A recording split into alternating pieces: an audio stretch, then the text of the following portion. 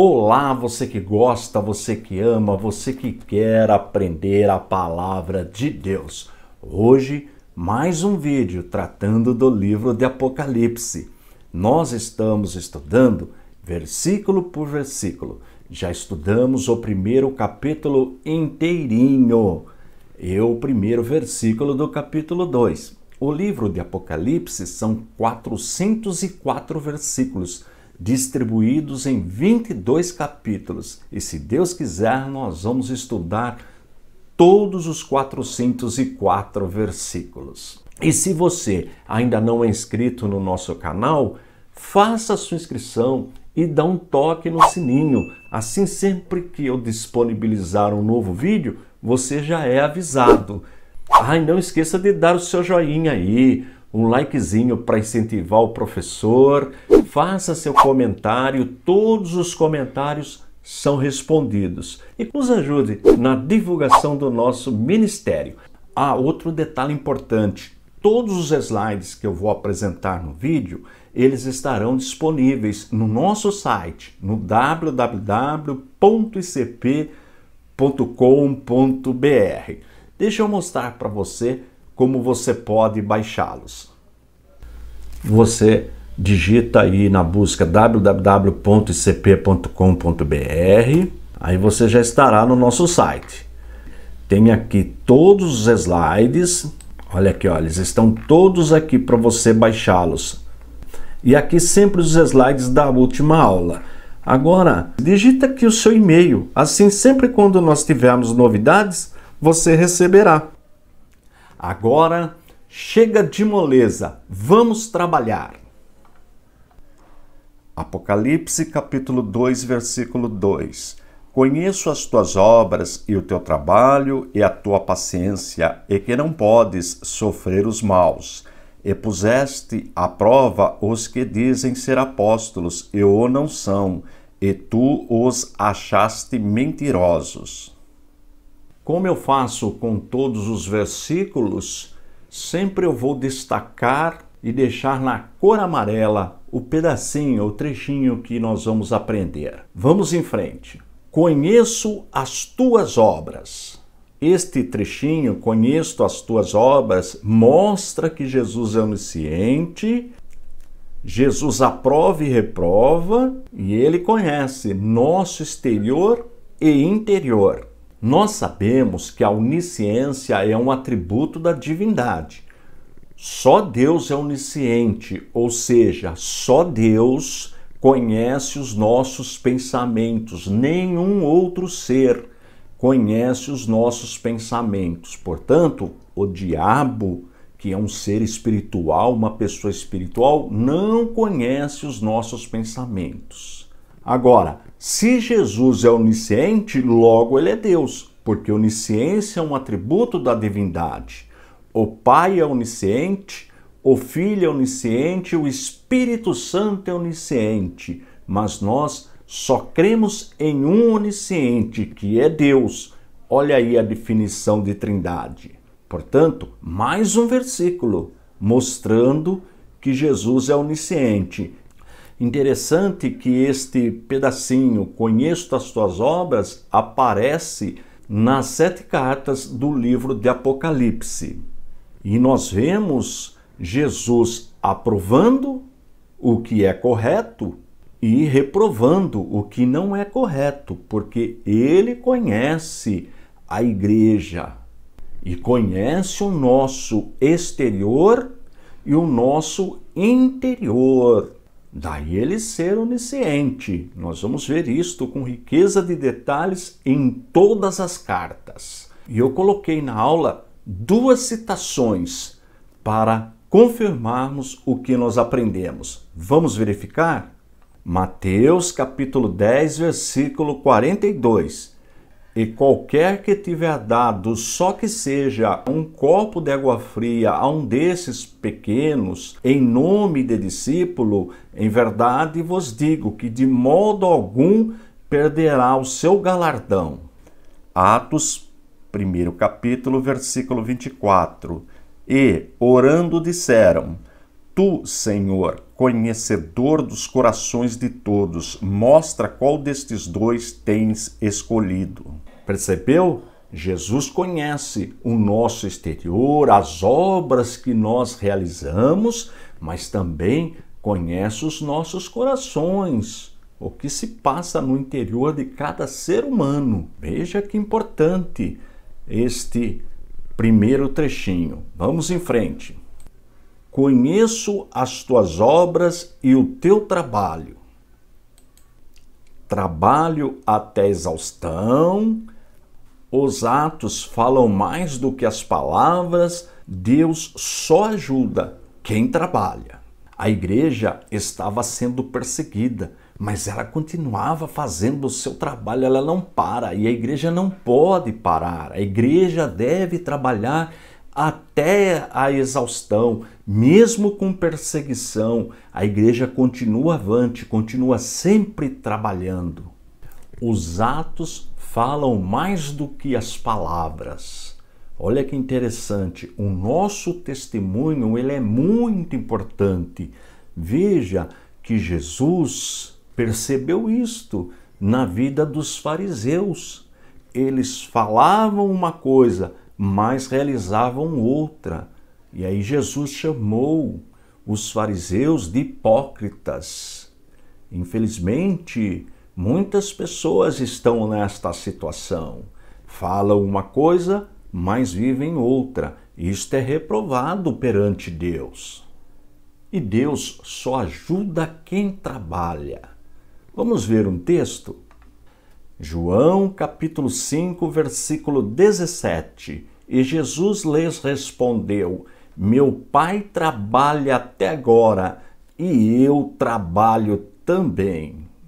Quando nós estudamos teologia, nós aprendemos sobre a graça comum e a graça salvífica. A graça salvífica é a salvação preparada por Deus por meio do seu Filho, nosso Senhor e Salvador Jesus Cristo, da morte de Jesus. E a graça comum é aquela que atinge todas as pessoas, independente de religião. Por exemplo, o sol, as plantações, a vida que nós vivemos neste mundo não tem a ver com salvação. Veja que todos são beneficiados pela graça comum. Existe uma bênção especial para aqueles que trabalham. Repito, independente de religião, todo trabalhador é abençoado por Deus. Você não vai encontrar nas Escrituras Deus chamando alguém para o ministério que não estivesse trabalhando porque Deus ama o trabalhador, porque ele não para de trabalhar. Deus está em atividade todo o tempo, desde a eternidade. Vamos em frente. Conheço as tuas obras e o teu trabalho e a tua paciência. Esta paciência nos ensina a suportar tudo em circunstâncias adversas. A igreja estava sofrendo perseguição.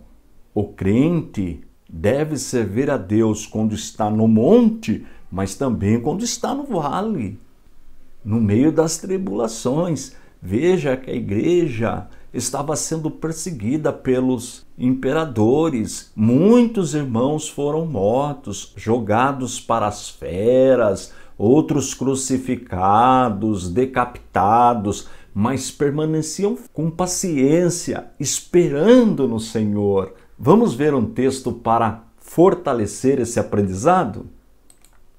Primeira carta aos Tessalonicenses, primeiro capítulo, versículo 3.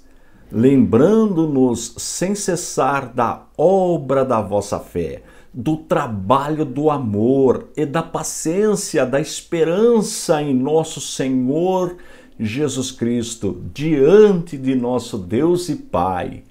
Olha que palavra abençoada! E da paciência, da esperança em nosso Senhor Jesus Cristo. Vamos para o próximo trechinho? Conheço as tuas obras e o teu trabalho e a tua paciência, e que não podes sofrer os maus. Veja, a igreja havia sofrido perseguição dos judaizantes.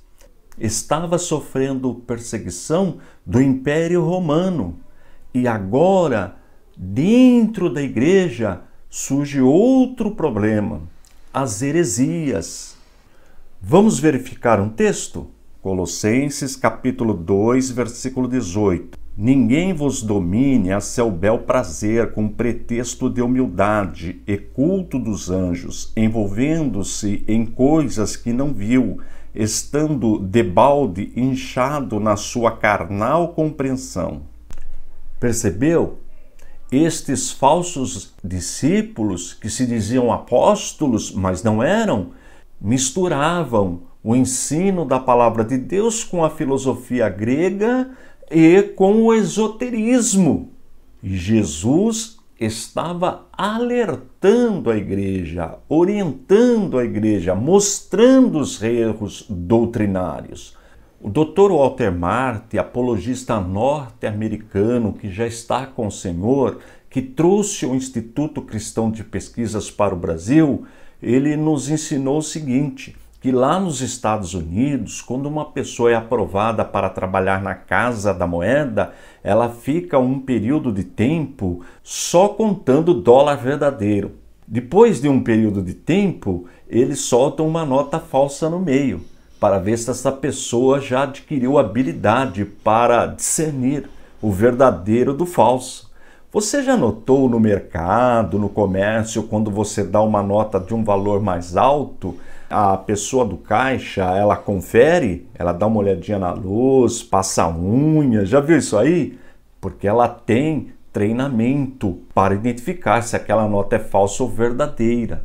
E o que tem isto a ver com a palavra de Deus?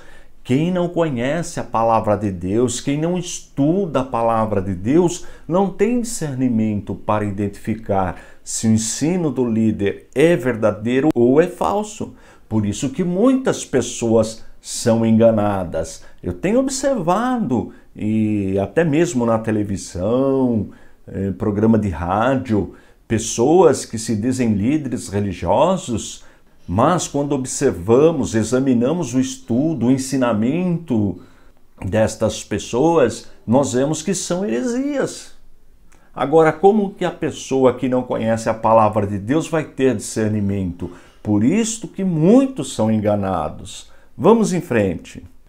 Conheço as tuas obras e o teu trabalho e a tua paciência, e que não podes sofrer os maus, e puseste à prova os que dizem ser apóstolos, e o não são, e tu os achaste mentirosos.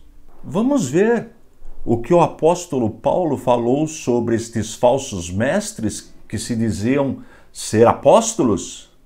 Atos capítulo 20, versículos 29 e 30 porque eu sei isto que, depois da minha partida, entrarão no meio de vós lobos cruéis, que não pouparão ao rebanho, e que de entre vós mesmos se levantarão homens que falarão coisas perversas para atraírem os discípulos após si. Percebeu novamente a importância de conhecer a palavra de Deus, de estudar a Bíblia? Esse é o trabalho da teologia, ajudar nossos irmãos. Quando nós do ICP começamos a desenvolver cursos para ajudar a igreja, nós começamos a ensinar apologética, defesa da fé. E os irmãos nos enviavam os questionários, as atividades, e nós percebemos que eles não tinham base teológica. Foi daí que surgiu a necessidade da nossa instituição proporcionar para os nossos irmãos curso de teologia, o básico, o médio, o bacharel, para ajudar estes irmãos, porque se não conhece o verdadeiro, não conhece as doutrinas fundamentais da nossa fé, como vão combater as heresias? Veja que nós fizemos uma pesquisa e chegamos à conclusão que 40% das testemunhas de Jeová já foram evangélicas um dia. E quando nós aprofundamos o estudo, verificamos que estas pessoas que já foram evangélicas um dia pertenciam a denominações que não valorizam o estudo da palavra de Deus. Mas eu creio que você que está assistindo este vídeo tem compromisso com o estudo da palavra de Deus. Nas próximas aulas, nós vamos estudar quais eram estas heresias que estes falsos apóstolos estavam ensinando nas igrejas. Não vai perder as próximas aulas. Tô indo embora. Forte abraço e fiquem todos na paz de nosso Senhor e Salvador Jesus Cristo.